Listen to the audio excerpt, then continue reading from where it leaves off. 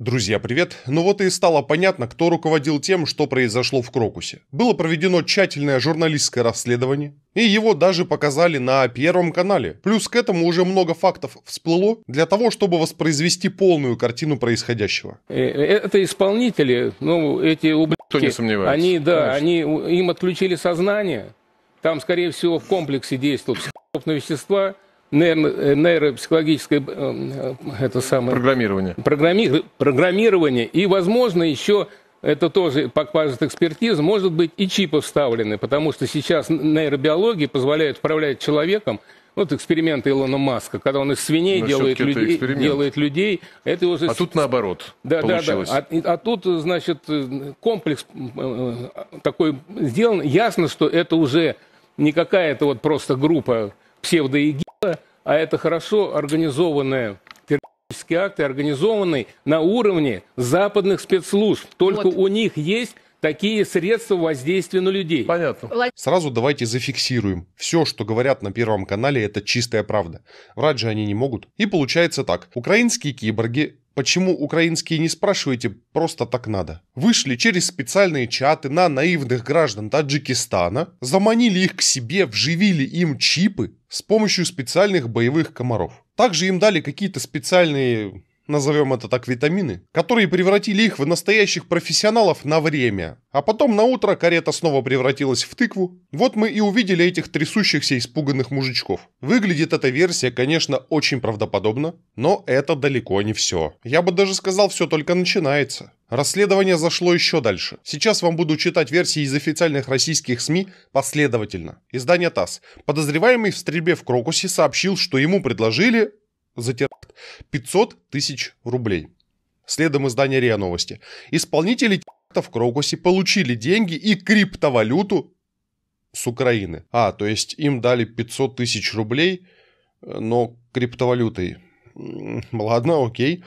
Следующее, это тоже РИА Новости. Исполнители после теракта в Крокусе направлялись в Киев за наградой. Вот это уже установил Следственный комитет. Я понимаю, конечно, что меня смотрит довольно взрослая аудитория, и не для всех очевидно, что такое криптовалюта. Вдаваться прям в дебри не буду. Во-первых, криптовалюта это никакие не рубли, это если грубо электронная валюта, и физически ее не существует. Во-вторых, чтобы получить такой перевод, не обязательно находиться где-то в какой-то конкретной стране, не нужно находиться в конкретном месте, для этого достаточно иметь специальный кошелек со своим специальным, так назовем его номером. Для этого не нужно иметь карту Банка России или карту Банка Украины. Для этого даже наличные не нужны. Но СМИ и Следственный комитет нас убеждают, что за награды им нужно было ехать через границу в стольный град Киев. Смею предположить, что, скорее всего, они ехали лично к Зеленскому в кабинет, чтобы лично от Зеленского получить свое вознаграждение. Мало того, группировка, название которой начинается на «и» заканчивается на «гил», подтвердила арест своих сторонников в Москве. Об этом сообщила еженедельная газета «Альнаба» от имени этой самой группировки. Нормально название ее не могу произносить по определенным причинам. Площадка этого очень не любит. Издание пишет, что 22 марта зал Крокус-Сити атаковали четыре бойца, которые являются солдатами халифата. Ответственность на себя также взяла ячейка вот этой самой организации на букву «И». И взяла она на себя ответственность раз. Путин и российские СМИ. Это Украина. Организация берет на себя ответственность еще раз. Да нет, говорит, это мы, Путин. Это Украина? Глаза руководителей этой организации даже представлять не нужно. Мало того, еще информация от российских СМИ. Обвиняемые в в Крокусе заявили на допросах, что их действия голосовыми сообщениями через Телеграм координировал мужчина под псевдонимом. Об этом сообщил также Следственный комитет. Значит так, едут четыре таджика на Рено через полкарты, а им кто-то в телеге записывает кружочки. Ну или голосовые, или, может быть, на крайняк текстовые сообщения. Но русские-то они плохо понимают. Им там написали ехать в Украину, а они решили поехать к Лукашенко. По крайней мере, это мы знаем со слов самого Лукашенко. А надо было-то ехать в Киев за криптовалютой. Крипту в слитках в кабинете Зеленского получать. Ну или россыпью в пакетиках. Я, если честно, не знаю, как в Украине там криптовалюту друг другу передают. Ну и одно здесь понятно точно. Если их и дальше будут ставить на зарядку, то есть подключать к ним электричество, скоро мы услышим, как они должны были сесть на вертолет и улететь прямо из Брянска к Зеленскому на дачу, чтобы он их там наградил сходил и угостил шашлыками из свинины. Так что все, в принципе, здесь все сходится. Поэтому давайте продолжим. Пока в информационном пространстве происходит вот это, наше государство продолжает воевать с мельницами. Искать, так сказать, настоящих врагов. На жителя Томска завели уголовное дело за повторную дискредитацию армии. Сергей Железняков опубликовал у себя на странице ВКонтакте чужую песню, не свою даже, а песню группы «Ногу свело». Песня, естественно, характера против происходящего. И выложил видео «Обними, если против происходящего 20-летнего Никиты из Ижевска. Это видео в сети появилось еще год назад. Раньше Железнякова уже штрафовали за дискредитацию и за участие в митингах против происходящего. А вот если бы он вышел с плакатом, на котором было бы написано «Обними, если ты за зарядку подозреваемых. Тогда бы ему, наверное, еще и медаль дали. А так, извини, 8 лет лишения свободы. Ну и также российские СМИ уже начали писать, что граждане соседних республик из Средней Азии уже начали паковать вещи и уезжать в родные страны. Причем делают они это массово. Ну и страна уже получила некие последствия этого. Небезызвестная экономист Наталья Зубаревич рассказала о ситуации в МГУ. Я там давно не была, но мне коллеги сказали. В одной на одном из факультетов моих, моего родного МГУ, не буду называть, сейчас переходят на одноразовую посуду. Некому мыть, потому что этим занимались трудовые мигранты. Но если в МГУ начали переходить на одноразовую посуду, потому что мыть ее просто некому, то вот в Луганске, куда пришел русский мир, в школе посмотрите, как накладывают еду. Вот, полюбуйтесь, сторонники русского мира. Руками берут, нагребают макароны – и раскладывают прямо по тарелкам. И так сойдет. На черпак, видимо, денег не хватило. Борщ, наверное, они тоже наливают. Горшнями. Ну и мясо, наверное, пятками отбивают. Это же отчет начальника ОМВД России по Псковской области. Генерал-майор полиции Алексей Викторович Овсянников, к вашим услугам, рассказывает, как в регионе обстоят дела с ПВО на третий год трехдневного взятия Киева. Для нас это огромное подспорье в борьбе э, с такими проявлениями, как беспилотные летательные аппараты и все остальное, учитывая отсутствие ПВО на территории Псковской области. Не знаю, если честно, как-то ему не верится, что в Псковской области нет ПВО. Людей же уже предупреждали, что нужно с очками запастись. Да и рогатки у населения явно имеются.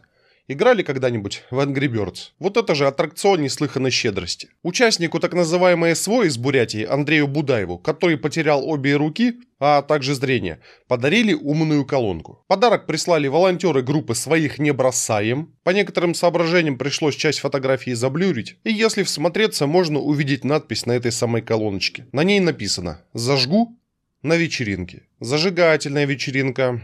Ничего не скажешь. Теперь же послушайте, как изменилась риторика пропагандистов. Это так называемый глава Запорожской области Балицкий, который очень не любит букву «Е». Его, кстати говоря, тоже можно отнести к рангу пропагандистов, ибо людей на таких должностях можно называть просто «лицо». И вот как повесточка изменилась. У нас есть и силы, и средства, и средства их доставки э, к тому, чтобы уничтожить всю инфраструктуру э, украинского режима, энергетическую – я это говорю достаточно авторитетно, как военный летчик, э, которого готовили к тому, чтобы бороться с э, промышленным потенциалом, учитывая, что являюсь э, пилотом стратегической ракетоносной авиации. Это первое. Второе, то, что не повлияет, ну, мало, мало могу сказать, это повлияет, потому что, если помните, что даже когда наши войска, уже войска Конева, Жукова подошли полностью к Зиеловским высотам, и уже Берлин оставался практически только с э, гарнизоном Монка в 200 тысяч.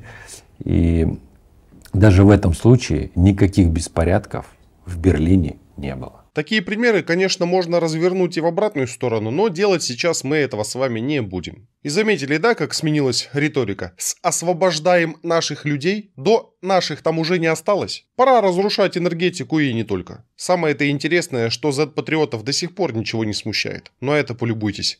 Современная поэзия русского мира. Счастливые выборы президента России с 15 по 17 марта 2024 года – Ура! Наш Путин победил!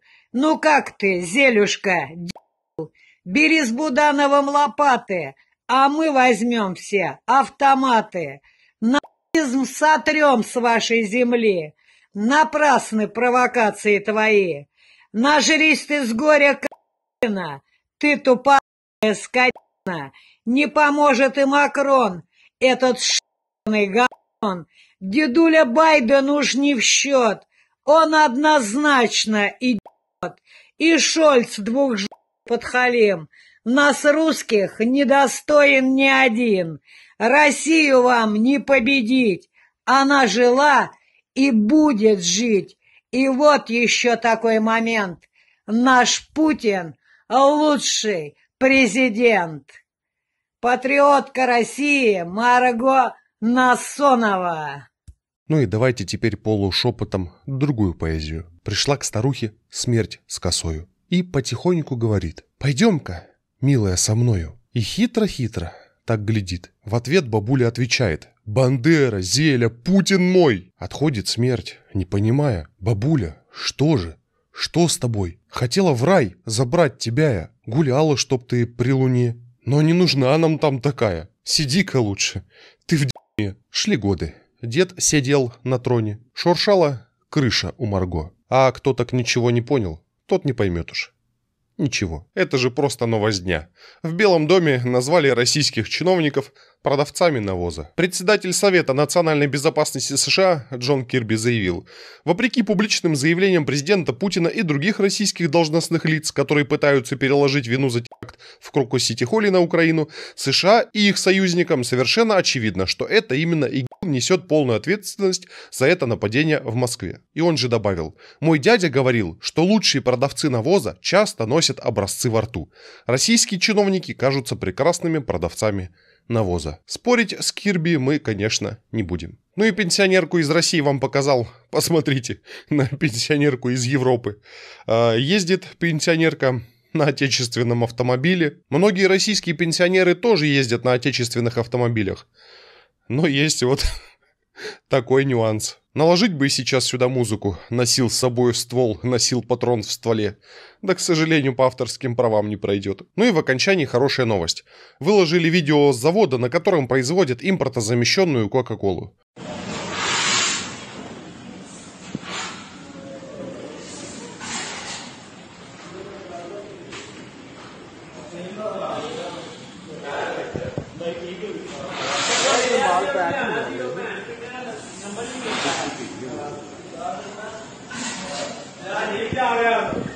Вкусно и точка. А я не прощаюсь.